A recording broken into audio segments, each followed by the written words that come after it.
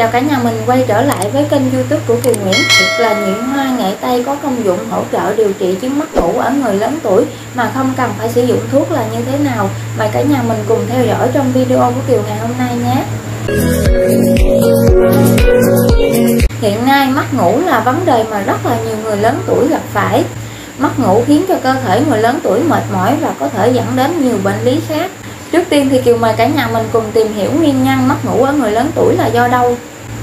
Đa phần thì người lớn tuổi gặp tình trạng mất ngủ rất là nhiều luôn cả nhà. Nguyên nhân là do người lớn tuổi hoạt động thể lực giảm nè, do thay đổi về nhịp sinh học. Bên cạnh đó thì nhiều cơ quan chức năng cũng đã bị suy giảm. Người lớn tuổi thì thường xuất hiện nhiều bệnh gây đau nhức, mệt mỏi, dẫn đến tình trạng là khó ngủ, ngủ không sâu giấc. Người lớn tuổi thì rất là ít vận động. Một số người còn hay lo lắng, buồn phiền dẫn đến tình trạng là khó đi vào giấc ngủ.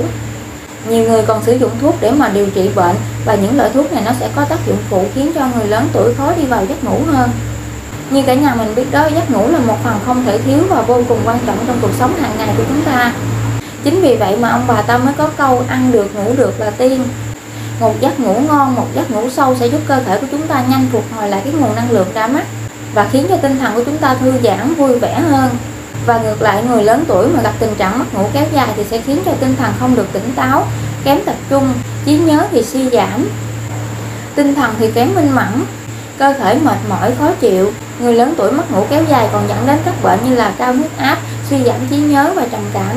Tình trạng mất ngủ ở người lớn tuổi thì cần khắc phục kịp thời để tránh gây mệt mỏi cho cơ thể và tránh phát sinh thêm những bệnh lý khác để hỗ trợ điều trị bệnh mất ngủ ở người lớn tuổi mà không cần phải dùng thuốc thì mời cả nhà mình tham khảo một số cách ở dưới đây nhé. Saffron là thảo dược tự nhiên, an toàn và lành tính và người ta đã biết đến những công dụng tuyệt vời của saffron từ rất là lâu rồi cả nhà. Và một trong những công dụng nổi trội của saffron là hỗ trợ điều trị chứng mất ngủ lâu năm rất là hiệu quả. Cách sử dụng thì vô cùng đơn giản. Cách thứ nhất là chúng ta sẽ pha saffron với nước ấm uống thay nước lọc hàng ngày. Cách thứ hai là chúng ta sẽ kết hợp saffron với trà hoa hồng, hoa cúc, hạt chia, hạt é. Cách thứ ba là chúng ta sẽ kết hợp saffron ngâm với mật ong. Cách thứ tư là chúng ta sẽ pha saffron với sữa ấm. Và cách thứ năm là chúng ta có thể dùng saffron như là một gia vị trong các món ăn hàng ngày.